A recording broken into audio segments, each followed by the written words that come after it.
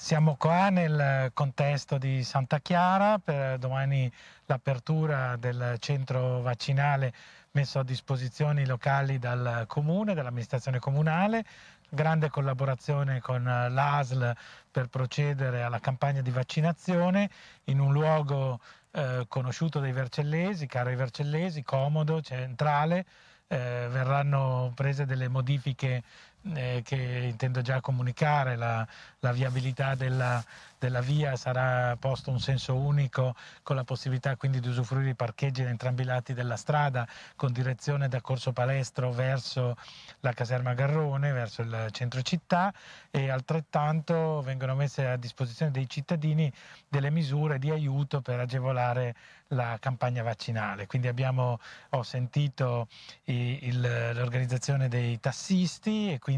il comune, l'amministrazione comunale metterà a disposizione delle persone anziane la, la corsa che eh, grazie alla collaborazione dei tassisti verrà eh, eseguita a favore delle persone anziane che mostreranno la, la prenotazione per la vaccinazione, quindi un modo anche per alleggerire la, eh, la, viabilità cittadina, ma soprattutto per essere vicino alle persone che hanno delle necessità di spostamento e che quindi avranno una maggiore facilità. Stiamo lavorando ancora per eh, grande collaborazione per, anche per altri luoghi e altri siti. Siamo convinti che sia fondamentale l'organizzazione del, del, vaccino e che si vada avanti il più spediti possibile, quindi sia a livello regionale che a livello locale e sulle indicazioni statali di avere una campagna vaccinale che sia la più efficace possibile, la più veloce possibile, perché è questo che veramente ci permetterà di uscire da questa situazione di difficoltà. Ancora oggi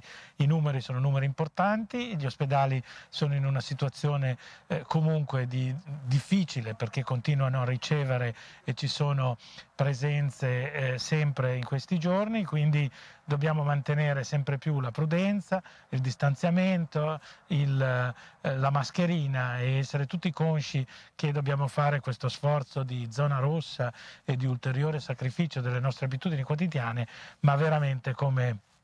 come eh, impegno eh, che sia un impegno che permetta poi davvero eh, di tornare alla quotidianità, quindi un, un ottimismo che ci deve eh, convincere che i sacrifici li facciamo, li facciamo a ragion veduta per arrivare a quella immunizzazione eh, generale che ci permetta a tutti di riprendere gli spostamenti, di riprendere le nostre attività. Le, la situazione dell'amministrazione da un punto di vista di attività in questi giorni è stata frenetica, abbiamo presentato i grossi progetti sul quartiere Isola e sul quartiere Centro Storico, sono partiti i nostri fascicoli di candidatura per i finanziamenti, stiamo lavorando molto sul contratto del verde per portare alla città dei segnali davvero anche con l'arrivo, speriamo, della primavera della bella stagione, poi di riprendere una vita che sia poi in una vita eh, sempre più con una città gradevole che sia tale di darci una qualità, una qualità della nostra, della nostra vita, soprattutto dopo che ci siamo liberati da questa